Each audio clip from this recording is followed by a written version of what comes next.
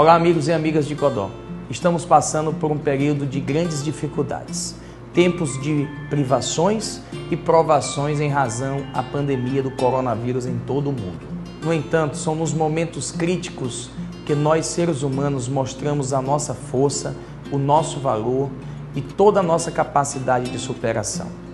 O mais importante é que estamos conseguindo superar tudo com trabalho, dedicação, força, foco e muita fé em Deus. Desta forma, estamos completando 124 anos de Codó, celebrando seu aniversário de uma forma bem especial. Talvez não como de costume, de fazermos grandes festas, mas continuamos a planejar e a trabalhar com responsabilidade e compromisso para a educação, saúde e, principalmente, a qualidade de vida de nosso povo. Parabéns, Codó, por sua linda história e pelos seus 124 anos de existência.